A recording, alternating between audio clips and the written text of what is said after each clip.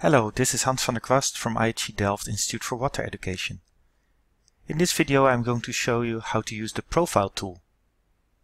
In a previous video I've already demonstrated how to uh, treat digital elevation models and make them ready for uh, catchment delineation and hydrological studies. And that's the data that I'm going to use to demonstrate this.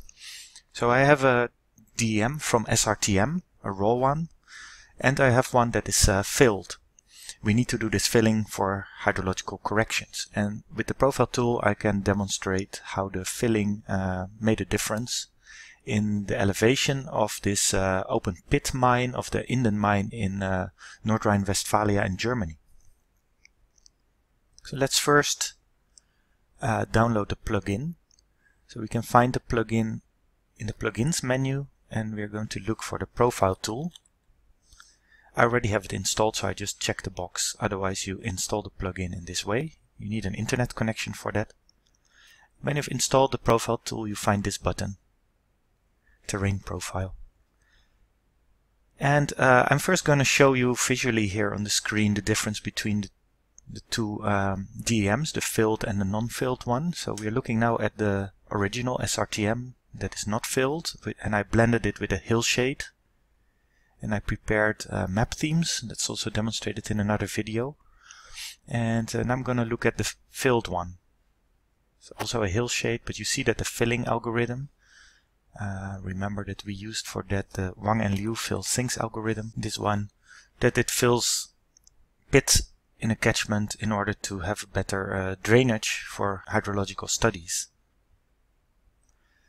Okay, now I want to compare these two DEMs. So the not filled with the filled one. And uh, I can do that using the profile tool.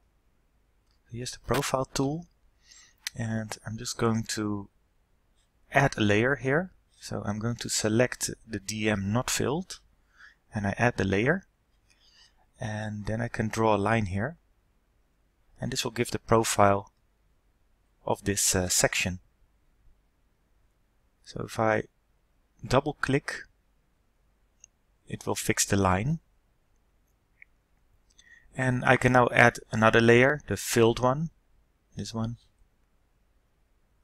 And uh, that one will now be added. I can change the colors. So I can make, for example, the filled one uh, green. And uh, now we can compare the filled with the non-filled one. I can export these profiles uh, to PNG or to uh, DXF or SVG to further treat it.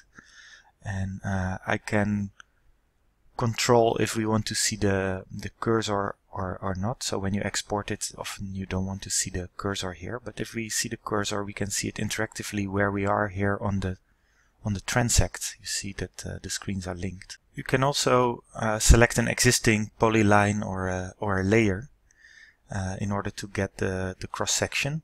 It also reports the values in a table that you can uh, can copy and use in other software. And there's a settings uh, tab where you can do some more advanced settings.